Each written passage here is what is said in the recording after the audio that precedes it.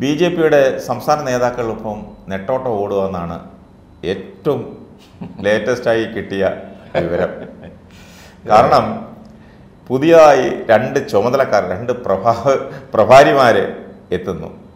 അതിലൊന്ന് ജാവേദ് അക്കറാണ് ഇപ്പോൾ ജാവേദ് അക്കറിനെ കൂടാതെ ബി ജെ പിയുടെ അഖിലേന്ത്യാ പ്രസിഡന്റും നന്ദയും വരുന്നുണ്ട്. അവർ രണ്ടുപേരും കൂടാണ് ഈ ഇരുപത്തഞ്ച് ഇരുപത്തി ആറ് തീയതികളിലാണെന്ന് തോന്നുന്നു ഇവിടെ കേരളം സന്ദർശിക്കുന്നത്. മിക്കവാറും ജില്ലകളിൽ അവർ പോകുന്നുമുണ്ട്.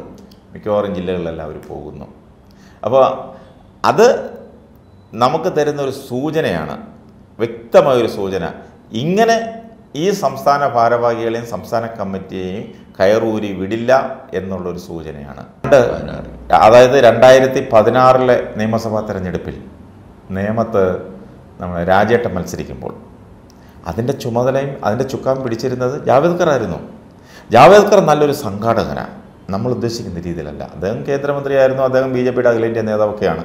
അതൊക്കെ അദ്ദേഹത്തിന്റെ കൂടുതൽ ഇരുന്ന പൊസിഷനിലെല്ലാം കഴിവ് തെളിയിച്ച ആളുമാണ് അദ്ദേഹം നോർത്ത് ഇന്ത്യയിലാണ് അദ്ദേഹത്തിന്റെ പ്രവർത്തന തട്ടകമെങ്കിലും അദ്ദേഹത്തെ ഏൽപ്പിക്കുന്ന ജോലി അദ്ദേഹം കൃത്യമായി ചെയ്യും. കേരളത്തിന്റെ ഒരു നിരീക്ഷകനും കൂടിയാണ് പാർട്ടിയുടെ. അതെ.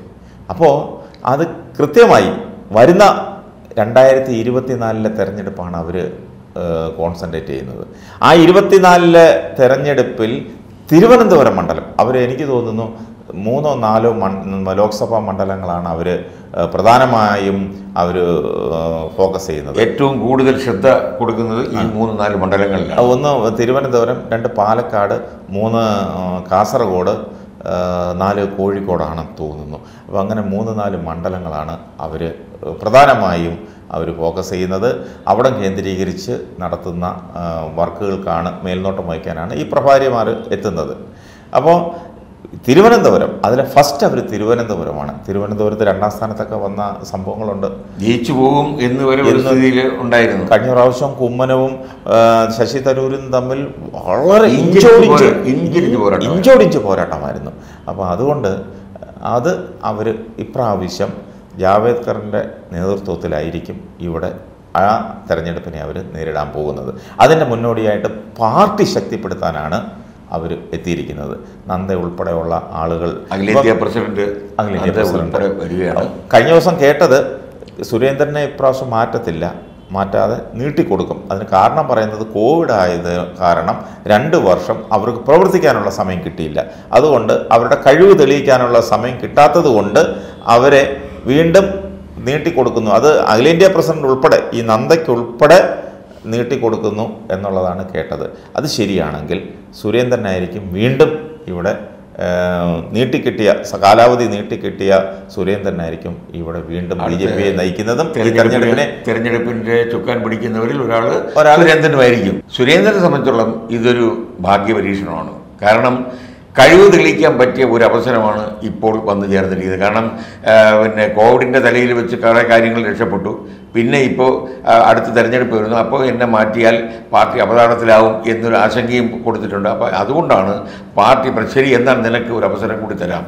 ഇതും കൂടി നമുക്ക് പരീക്ഷിക്കാം എന്ന് പറഞ്ഞാൽ എത്രമാത്രം ജയിക്കും എന്നുള്ളത് മറ്റു കാര്യം. പക്ഷേ വേറൊരു കാര്യമുണ്ട്. വേറൊരു കാര്യമുണ്ട്. ഓരോ തെരഞ്ഞെടുപ്പിനും ഇവിടെ ഒഴുക്കുന്ന പണം അതിന്റെ കൃത്യമായ കണക്ക് ഇതുവരെ കേന്ദ്രത്തിൽ കിട്ടിയിട്ടില്ലെന്നുള്ളതാണ് ലഭിക്കുന്ന വിവരം. അതിനൊരു എന്തായാലും അതിനൊരു ഒരു എന്താ ഒരു ക്രമീകരണമൊക്കെ വരും.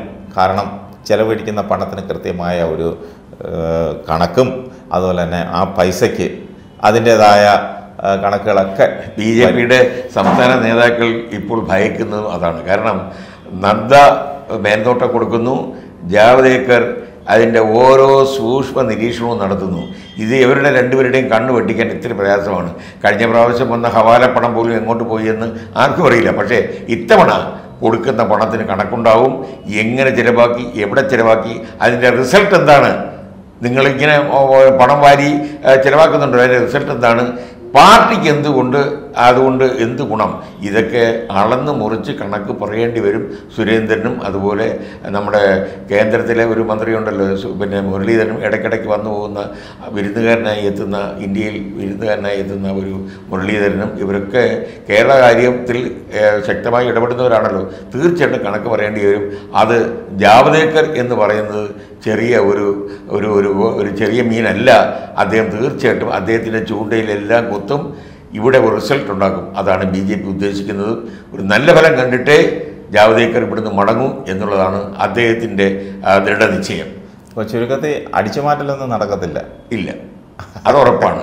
അപ്പോൾ പിന്നെ അപ്പോൾ പിന്നെ ബി ജെ പി നിന്നിട്ട് കാര്യമുണ്ടോ? അല്ല അതിപ്പോൾ സ്ഥിരമായി കുറേ ആളുകളുണ്ടല്ലോ. അവർക്ക് നിന്നല്ലേ പറ്റുള്ളൂ. എന്തായിരുന്നാലും അന്നെന്നുള്ള ചിലവെങ്കിലും നടക്കുമല്ലോ. അതുകൊണ്ട് തീർച്ചയായിട്ടും അത് കളഞ്ഞിട്ടൊന്നും പോകില്ല കാരണം ഇതിന്റെ ചക്കരക്കുടത്തിൽ കൈയിട്ടവൻ അറിയാം അതിന്റെ ഗുണം എന്താണെന്ന്. പക്ഷേ എന്ത് തന്നെയായാലും സാക്ഷാൽ നരേന്ദ്രമോദി പ്രധാനമന്ത്രി നരേന്ദ്രമോദി കേരളത്തിലെത്തിയാലും ശരി തന്നെ ഇതിന് ബി ജെ പിക്ക് ഇവിടെ ഒരു അക്കൗണ്ട് ഇനി ഓപ്പൺ ചെയ്യാൻ സാധിക്കുമോ എന്ന് കണ്ടറിയണം. കാരണം അവരുടെ സ്ഥാനം ഇപ്പോഴും ചവറ്റുകൊട്ടയിലാണ് എന്നാണ് ഇവിടുത്തെ L D F U D F പ്രവർത്തകർ പറയുന്നത്. അല്ല. അത് നമുക്ക് കാത്തിരുന്ന് കാണാം. തീർച്ചയായിട്ടും അതോടൊപ്പം തന്നെ അവരുടെ ഉദ്ദേശം സീറ്റുകളിൽ മാത്രമല്ല സീറ്റുകൾ കിട്ടിയാലും കിട്ടിയില്ലെങ്കിൽ ശരി. ഇവിടുത്തെ ഹിന്ദു കമ്മ്യൂണിറ്റിയുടെ എങ്കിലും വോട്ട് ഏകീകരിച്ച് പിന്നെ കൊണ്ടുവരിക ആ വോട്ടിന്റെ ശതമാനം ഉയർത്താൻ സാധിക്കുക അങ്ങനെയെങ്കിലും ഒരു തൃപ്തി അടയാൻ വേണ്ടിയുള്ള പ്രവർത്തനങ്ങളാണ് തീർച്ചയായിട്ടും ബി ജെ പിയുടെ ഭാഗത്തുനിന്ന് ഉണ്ടാവുക.